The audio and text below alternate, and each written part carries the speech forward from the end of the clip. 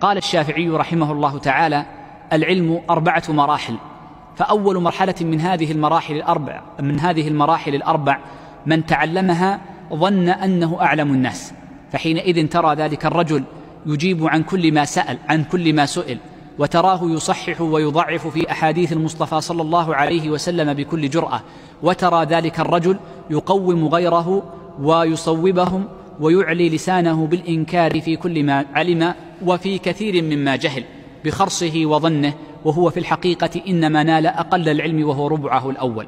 قال ثم الربع الثاني من تعلمه علم أنه قد فاته من العلم شيء فأن وأنه محتاج إلى أن يتعلم غيره. وهذه طريقة لا يعلمها إلا من تعلم جزء الثاني من العلم وبقي له ثلاثة أجزاء. قال وأما الجزء الثالث فإن من تعلمه وهو الربع الثالث من تعلمه فإنه سيعلم أن ما فاته من العلم أكثر بكثير مما أدركه. ولذلك فإذا تعلم المرء العلم الثالث وازداد علمه كثر توقفه وقل إفتاؤه وخاف من الله عز وجل خوفا عظيما.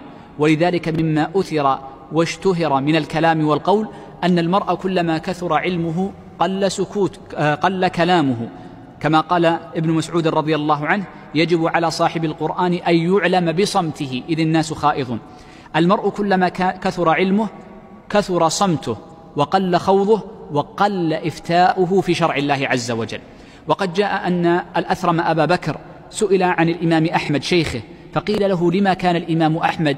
إذا سئل عن مسائل كثيرة قال لا أدري لا أدري. قال إنما كان ذلك بسبب علمه بالخلاف. فإن المرء إذا علم خلاف الأئمة وعلم نظرهم في المسائل فإنه يخشى الله عز وجل ويخافه ولكن لا يكون ذلك إلا لمن زاد علمه وعرف هذا العلم الكبير الذي لا يصل إليه إلا أقل الناس.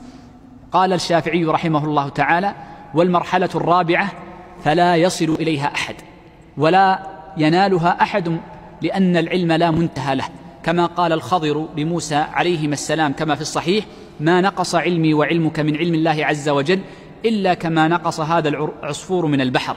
لما نقر عصفور في اليم فشرب منه شربة قصيرة أو قليلة.